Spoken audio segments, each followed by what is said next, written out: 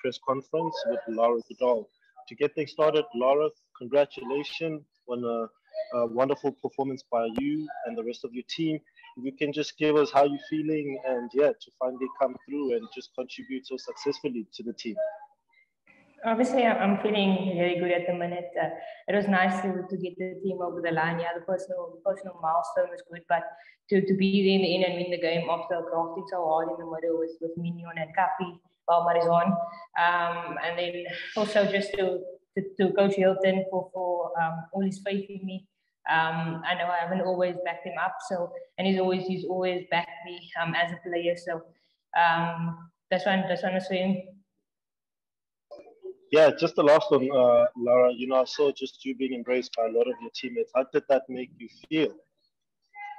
Obviously, it's a good feeling because uh, a, lot, a lot of my teammates um, have always believed in me, and, and I haven't always um, uh, repaid that faith out on the field. So today, for it to come together, it, it was amazing because um, I mean that they've seen what I'm capable of back home in provincial cricket and and also um, during the net sessions and stuff like that. And there was always some kind of disconnect um, when I went out into the field. But I've gone back, um, looked at myself very, very, very hard uh, during the lockdown period, and and just came back to international cricket with, with a different approach. Because now that I'm back, I don't I don't ever wanna wanna go be, be back. Um, back home in the provincial structures for the whole season. I want to be playing for the Momentum Proteas with that World Cup in mind next year.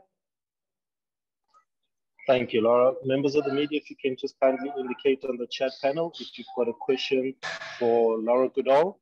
Uh, see if it also is the first one, please go ahead. Thanks, KK. Well batted, Lara. Congratulations on, on the win.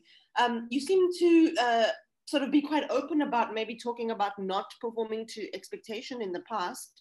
Um, first of all, were you under quite a lot of pressure and were there any kind of conversations that happened around, you know, what, what people wanted from you in the series. And then Mignon spoke in the post-match press conference as well about um, the middle order and, and you guys feeling the need to perform. Can you just talk about like what you guys have been through and, and the expectation that's set in that middle order and sort of how that's uh, come to fruition today? I think uh, we've always had, we have a world-class opening partnership in Lizelle and Loda, and we haven't always backed them up in the past. So it's nice to come to a place like India, which isn't the easiest place to play cricket, um, with all the conditions and, and, stuff like that. So for us as a, as a batting unit, um, I think we had four 50s in, in, the top four. I think our entire top four scored 50s, which, and I mean, if, if your entire top four is getting 60s, 70s, you're winning more, um, you're winning more games um, more often than not. So I think we just we just we could always rely on our opening partnership, but but us as a middle order, we had to look at ourselves immensely um, because we, have let the team down in the past, and it's something that we, we don't want what we don't want to happen um, in future because we know all the talent that is there. I mean, um, Mignon with all the experience, Marizanne with all the experience, um, and when Danae comes back eventually, she'll slot in there as well. So um, I think we just we owe it to to Lizelle and Loda um, that that today was for them because I mean uh, they've always given us the best thoughts um, up top. Uh, Ken, you can go ahead. Thanks, KK. Uh, congratulations, Laura. Superb innings. Well done. Um, you mentioned uh, having a different approach to your batting uh, in this series. Can you just uh, maybe tell us a bit more about that? I think when I when I was here two years ago, um, I wasn't really sure on how on what game and how to play spin and, and what my options were. I didn't really back it, so it was half-hearted approaches and, and stuff like that. So, I mean, in the lockdown period with the whole COVID um, story, when I when I was able to get back into the nets, I just worked on, on that, and I took because I think that was the last time I played international cricket. Um, so I took, like I said, I looked at myself um, deeply, and, and I saw that I needed to improve a lot to, to become a mainstay in this in this Proteas lineup. Um, because I mean, there is a slot open in that in that middle order, which is which I wanted to make mine, and I think it was just um, like I said, I owe a lot to, to Coach Hilton. He's always backed me, and, and we've always had open conversations about plans and how to, to play spin. And then um, someone like Tanisha Devnere, who I work with at high performance center a lot back home, um, who's also helped me a lot and, and who's backed me. So, I mean, like I said, um, I just took a different approach mentally because I felt like I've always I've always had the shots and I've always had um, the ability to back, but I think mentally was where I had to kind of make that shift and and it came through today, and um, that's all I can ask for. Laura, I've got two questions here for Lavanya. Question reads, uh, the South African bowlers did struggle to contain the Indians through several passages of play during the first innings. What are the takeaways for the bowling attack from today's game in particular? And yeah, if you can just start with that, and then I'll ask the second question later. What uh, uh yeah, what are the takeaways for the bowling attack from today's game? I think I think as a bowler, we, we bowled a bit um, too straight at times and, and, and too many bad balls. Um, but I mean, our bowling, bowling unit has always been world class, it is quite a flat pitch out there, so it's quite difficult to, to contain and, and to um, keep India to a respectable score. So we knew anything 250, 260, we were willing to chase because I mean it's good outfield, it's a good deck. Um, if we apply ourselves like we did today, um, the bowlers have pulled us out of many a hole um, in so many years. So today it was good to do it for them because they were a bit off, but the batters came to the party, and I feel like that's what being a team is all about. Uh, when, when one department doesn't off, the other department has to step up. Yeah. All right, thanks, uh, Laura. Uh, Lavanya, I'll ask the second question to the coach and I'll send you a response uh, via voice note. Uh, I think it would be unfair to expect Laura just to respond uh, to that question because she's not in charge of uh, experimenting and lineups. Ken, if you can follow up, please, uh, with your question. Please go ahead. Thanks. Um, Laura, those two reverse sweeps you played in the penultimate over for four, it's, it's obviously a shot that you practice a lot. Um, but you, have you ever had have you ever had to pull them off under such pressure? I don't I don't think so. Uh, it's but it's a shot that I've always backed myself to play. I mean, I played back home all the time. Just because it's for South Africa doesn't mean I have to change my approach. And um, it was Deepti Sharma, so that was kind of Mignon and I were discussing in the middle an option uh, against us. So once they took the slip out, that was always going to be my option. Um, just for that boundary because we found out it was a, a it was a, less risky option than the actual sweep because my my conventional sweeps didn't really work today, so I had to go to, to something else. So, I mean, if your plan A doesn't work, you need to have plan B as bad as, and, and that was my plan B. And then uh, I have to give it to Mignon there because it was a good discussion we had in the middle. And it came off. And at the end of the day, I was in and I was set and I was quite calm throughout, um, which helped um, to, to, to, to execute such shots. Thanks, Laura. Uh, question here from uh, Sharjan. Uh, Mignon du Preez after the second ODI talked about the promise you showed and how we are yet to see the best of you. Today you shared a match-winning partnership with her. What was the talk in the middle like, and where do you prefer to bat in a full-strength South Africa side if you are given a choice?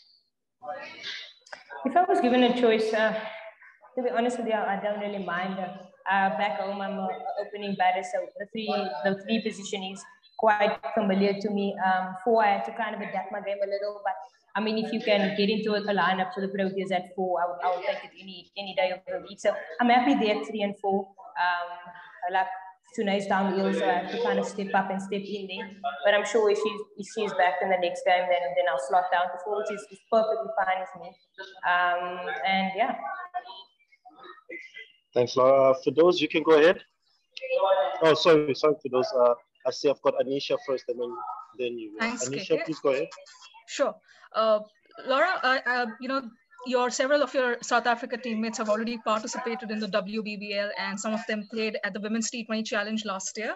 Uh, obviously, the T20 leg of the tour is yet to be uh, uh, yet to take place. But do you fancy yourself landing a contract in one of these T20 tournaments, given the the area of innovations you have in your armory? To be honest with you, it's not something that I'm that I've really thought about. Uh, my main goal is to kind of uh, cement my place in this momentum Protea side because I mean we are a world class team and uh, we have world class ambitions and so my first and my first um, option is to try and try and get in this team become a mainstay. Um, and then if the other contracts and stuff come, um, that's just the fruit, fruitful tuition from from performing well for my country. But that's always um, this one is my main goal to play for the Spanish over here. So um, whatever happens after that happens. But um, I want to do my best for the momentum, for the momentum Proteas at this time. And yeah. Thanks, Laura. All the best for the next games. Thank you. Thanks, Anisha. For those, you can take the second last, and then Ken, you'll take the next one. Uh, Lara, at what point did you guys think, okay, we've probably we've probably got this in the bag in terms of of the chase? Was there any stage at which you felt, okay, we got it, or we don't have it? I, think uh, we, we, we realized we got it and we actually won the game. But um, on that pitch, we always felt like with wickets in hand and, and 20 overs, I think we, we needed about 130 out of, of 20. And anyway, sixes and sevens and over, we always backed ourselves with um, uh, to come. Marizanas in the, in the changing room at the time. So, I mean, we, we knew it was a good deck. It, it just gets flatter and flatter, and we knew that wickets in hand were massively important.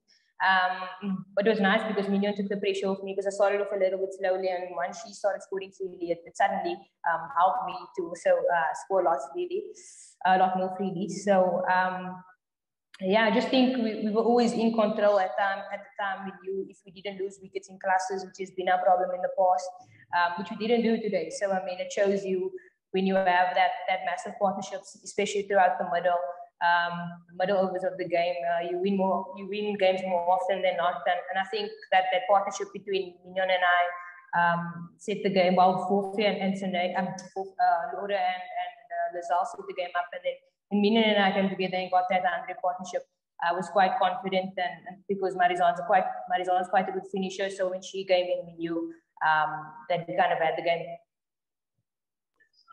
Ken, you can go.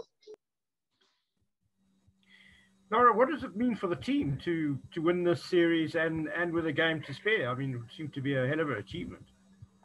yeah, definitely. I mean, like I said before, well, the last time we came to India, we got clubbed a little bit. So we, we came back with a point to prove. And uh, the chat in the changing room is we, we are all um, different players, especially the batting unit. We are a lot we are we are a lot more mature in our games, and we are a lot um, more, we back ourselves a lot more than we did two years ago. I mean, we came here, we got stressed, we know, and, and we knew we had a point to prove coming here. We knew it wasn't going to be easy with conditions. We didn't know what to expect. Um, there was a lot of uncertainty. So um, it was nice to come and, and, make a statement because I feel like uh, today's win especially was a statement because a lot of the time um, our batting unit was always under scrutiny. So to show that we have that belief and we have that, um, and we back each other all the way to chase to, I don't know what it was, to 67 or something like that um, yeah, it's a massive chase against a world class uh, team. So we're really, really happy and, and we'll definitely enjoy this one. Uh, Percy, you can take the last one in Afrikaans. Laura baie baie dankie kyk kyk um, baie dankie aan Laura. Baie geluk met julle in die span. Laura kan ek net vra net ter opsomming ek I'm only getting one bite that you are asking Afrikaans question. Um so kan ek jou vra net ter opsomming um waaraan skryf julle julle vandag julle julle julle oorwinning toe en die reeks oorwinning en net die ander deel van my vraag is wat beteken dit vir julle vorentoe in die res van die reeks met die laaste eendag wedstryd en dan in die, in die, in die T20 reeks vir julle? I'm sorry I didn't catch the first question. Ek wil gevra het waar skryf julle vandag se sukses toe om julle oorwinning in die in die, die wedstryd vandag en dan die tweede deel is net ehm um, wat beteken dit vir julle vir die res van die reeks nou? Um I think we owe a, a lot of us to to just uh, Laura, yeah. Can you respond in Afrikaans if possible? Can you? if you can't, Laura, Laura if, if you can't, then I'm gonna have to use English. I'll, I'll say it with the English now. Okay. Cool. Thank you. I answer the question still? Yeah, please go ahead, Laura. Oh, uh, I think we, we owe today's win um, to to just the backing of our coaching staff and, and um, just to to ourselves. I think uh, we owe it to ourselves. Like I said, the last time we came here, it wasn't the best series for us. Uh, we were down and out after that. Um, personally, I was out of international cricket after that, so I took it quite hard. So to come back here and prove a point and win a series um, in India without the likes of Dane van Niekerk, our usual skipper, and, and Chloe Tryon, which are two big players for us. It just shows the immense character and depth that we have as a country, and, and then we're moving in the right direction. Um, and yeah, sorry, the, the last, what is the second part of the question? Just uh, what does it mean for going forward in the series? Obviously, the one last one day match, and then obviously the T20 series. How much confidence you guys taking into the rest of the series? Uh, into the last match, obviously, 4 1 looks a lot better than 3 1. And, and as a team, uh, we always want to win more games, and and, and to win um, in India for one is a statement to the rest of the world that that we're gunning for that World Cup because I feel like that's that's our our main goal at this point, and that's why we're playing this many this many uh, 50 over games. Um, so yeah, at going into the T20 series, you obviously take a lot of confidence from from winning um, in, in the fifth year was, but we know that's a different ball game in India world class T20 unit. Um, the, the wickets are flat, so we know it's probably going to be a high scoring game. So we just have to stay calm in those big moments. Um, T20 is a lot more uh, is a lot more intense and it's shorter and, and quicker. But I mean, we, we've shown that, that we have all the tools to be a successful T20 side. And we always take confidence in the series win because it's always nice to go into, into a new series, whether it be T20 or 50, 50 overs with, with wins under your belt and wins against um, good opposition um, in their own conditions. So very, very proud of the team and we'll take, we'll take the series win and enjoy it tonight, definitely. Thank you so much. Thank you, Laura. Thank you, members of the media, for taking the time to join us for this post-match uh, press conference. We look forward to engaging with you guys for our last game on Wednesday. Take care and have a good afternoon. Thank you. Okay, thanks, Laura. Well done. Thank you, guys.